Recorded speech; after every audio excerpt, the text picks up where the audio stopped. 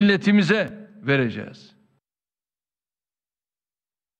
Evet, Cumhurbaşkanı Erdoğan helallik istemişti. Ardından e, tartışmalar devam ederken de şimdi iki grup için destek paketi açıklandı.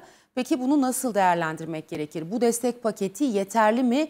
Çünkü esnaf gerçekten zor durumda kan ağlıyor. Bu konuyu yine konunun uzmanına soracağız. Çünkü hem konuyu iyi biliyor hem esnafların sıkıntılarını iyi biliyor. Çünkü esnaflar sürekli arayıp dertlerini anlatıyorlar. Kime? Elbette ki Türkiye Esnaf ve Sanatkarları Konfederasyonu Başkanı Bendevi Palandöken'e. Sayın Palandöken Skype bağlantısıyla yayınımızda. İyi sabahlar yayınımıza hoş geldiniz Sayın Palandöken. Teşekkür ediyorum. İyi yayınlar.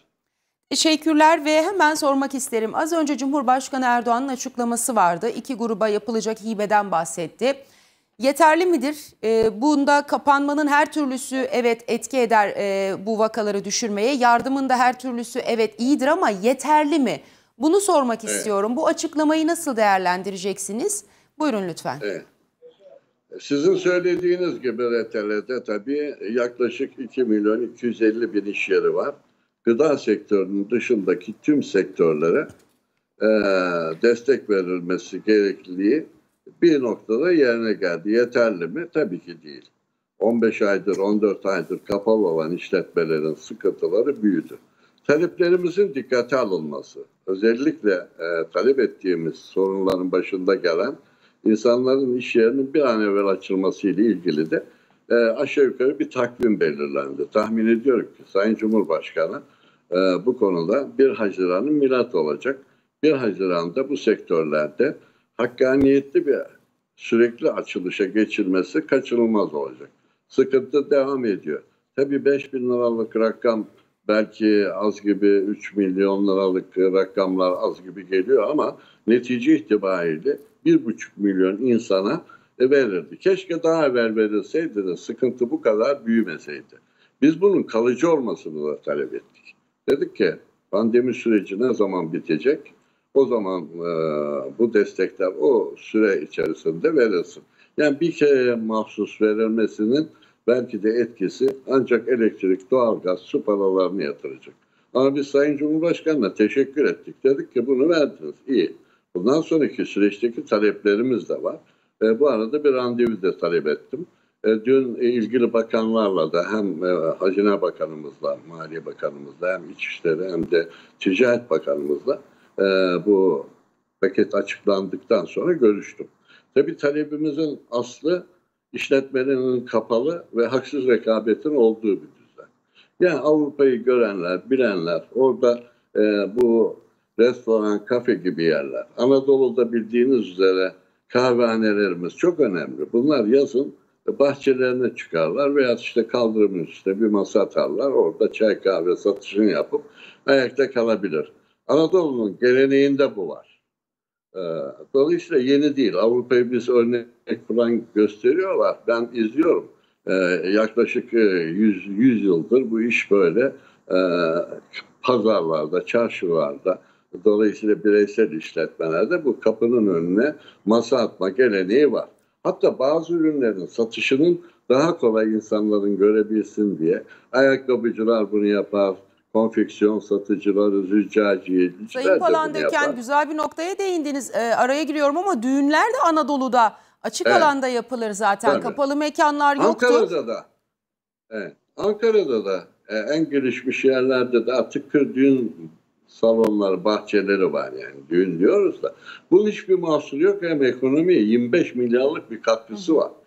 415 meslek burada canlanıyor. Taksicisinden çiçekçisine, hı hı. yemekçisinden efendim orada çalışan insanlara, ses sanatçıları, efendim orada müzik yapan arkadaşlarımız, oradaki garson kardeşlerimiz yani yüzlerce insana. Açıkta, açık alanda kır düğünü yapılması, AVM'nin içinde gezilmeden daha mı tehlikeli evet. diye Sayın insanlar Palandöken, soruyor. Evet Sayın Palandöken peki beklediğiniz bu muydu? Yani e, destek paketi açıklandığında bu size yeterli geldi mi? Bundan sonrası Şimdi, için ne bekliyorsunuz? Bizim tam açılma sürecinin bir Haziran'da olmasını ve bu süre içerisinde zaten görüşeceğim. ilgili bakanlarla da görüştüm.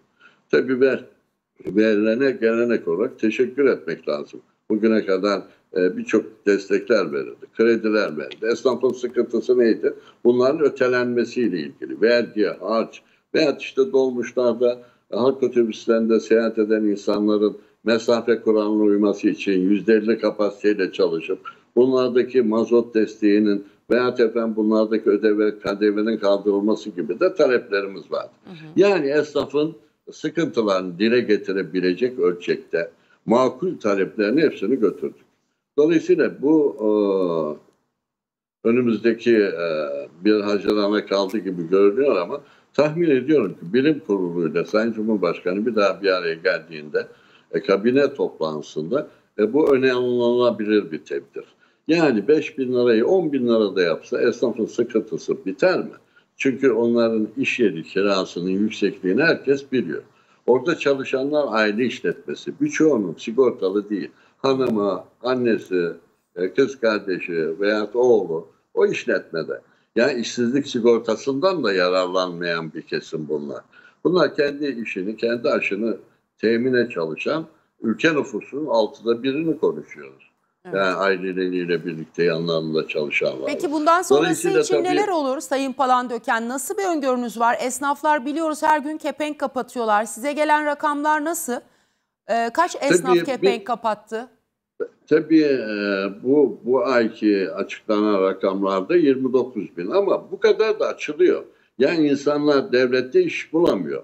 Yapabileceği başka bir iş yok. Küçük sermayesiyle en azından diyor bir büfe açayım, bir bakkal dükkanı açayım, bir manav açayım. Ya açılan sayısı bizde daha fazla. Kapananlar tabii orta büyüklükteki işletmelerin birçoğu masrafı kaldıramadığından kapanıyor. Evet. Ama sayısal baktığınızda açılanla kapanılan sayıya baktığınız zaman açılan daha ağırlıklı. Evet. Dolayısıyla ama e, gördüğünüz birçok iş yerlerinin kiralık, satlık, devren sattık gibi Evet. ibareleri görmeniz mümkün. Ama rakamsal e, resmi kayıtlarda açılan esnaf sayısı Evet. daha fazla. O da neden? E, kamuda iş bulamıyor. E, dolayısıyla mutlaka bir işi yapmak gerektiğini hissediyor. Ona göre işte bir işletme açıyor. Tabii bunun bir fizibilitesi yapılıp e, esnafların da böyle hepsinin bir araya getirildiği e, iş yapamayacağı alanlara yatırım yapmaları da milli servete Evet. zarar oluyor. Sayın Palandöken bu konuda buyurun. Evet, Evet. son cümlelerinizi alalım çünkü bir diğer konumuz var onu alacağım buyurun. Evet, biz e, bu konuda Sayın Cumhurbaşkanı ile tekrar e, temel sıkıntıları bir e, görüşeceğiz. E, bu işte ÖTV, KDV gibi ve borçların ötelenmesiyle ilgili yapılanlar bugüne kadar yapıldı ama hala pandemi sürüyor. Evet. İnşallah ki bizim en büyük beklentimiz biz Haziran'a kalmadan iş yerlerinin açılması. Evet çok teşekkür ediyoruz Sayın Palandöken Ben teşekkür aktardığınız bilgiler ediyorum. için. İyi yayınlar. Evet. Evet değerli izleyenler esnafın sıkıntılarını Bendevi Palandöken aktarmaya çalıştı bize ama